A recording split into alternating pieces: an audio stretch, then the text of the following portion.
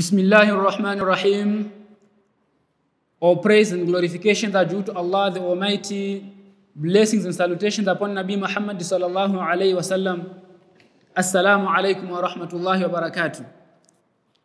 Inshallah, today we are going to talk about fiqh, understanding of the deen. It is a virtue from Allah subhanahu wa ta'ala to understand the message that was sent to mankind through different prophets in various and different times. It is not our own goodness and, and intelligence, neither it, it is, is, neither is it our own wisdom to understand the message of Allah subhanahu wa ta'ala.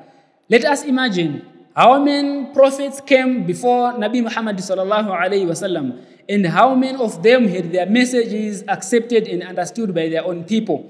It is not because they were not intelligent, it is not because their messages were not clear, but Allah subhanahu wa ta'ala did not bless them with the guidance. Let us look at Fir'aun. He said, قال يا هامان أوقد لي الصرح لعلي أطلع إلى إله موسى وإني لأظنه كاذبا He said, O Haman, construct for me a tower, a very long tower. I need to go to the Lord of Musa and meet him. Perhaps Musa is lying because he did not understand the message that was coming with Musa alayhi salatu wasalam.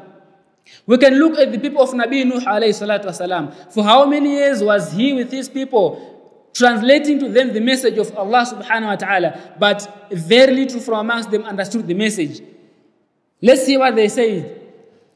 قالوا يا نوح قد جادلتنا فأكثرت جدالنا فأتنا بما تعدنا إن كنت من الصادقين They said, Oh Nuh, you have disputed with us, you have argued a lot with us, and you have prolonged your arguments. Please, just bring us that which you are promising us. If you are amongst the truthful ones, if you are saying the truth, meaning to say, they thought all what you were saying was lies. They were even tested further to witness Nabi Nuh alayhi salatu wasalam constructing the ark when he was building the ark.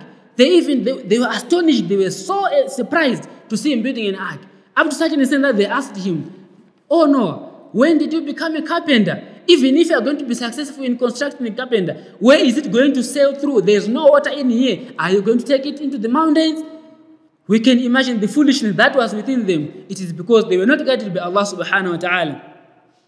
We should not, be, we should not break ourselves regarding our understanding of the deen. The people of Shu'aib were even more explicit in, in, in, in misunderstanding of everything that was related to them by the Prophet of Allah, Shu'aib alayhi salatu wasalam.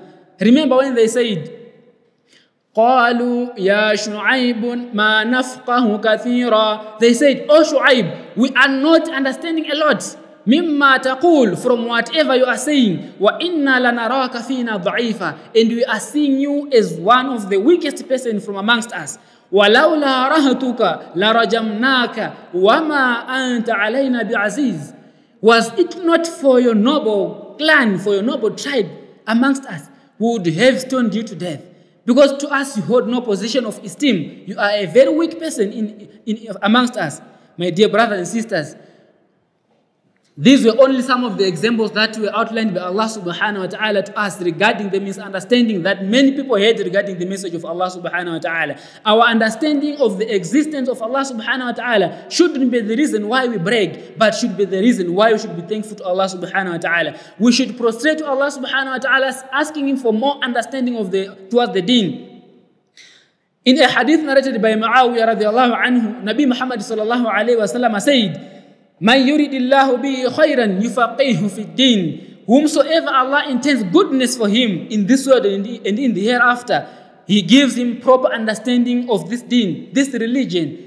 Meaning to say, we shouldn't be surprised to see great professors and their philosophers failing to understand even the existence of Allah subhanahu wa ta'ala. But rather, it is the blessing from Allah subhanahu wa ta'ala My dear brothers and sisters, till we meet again, Assalamu alaikum wa rahmatullahi wa barakatuh.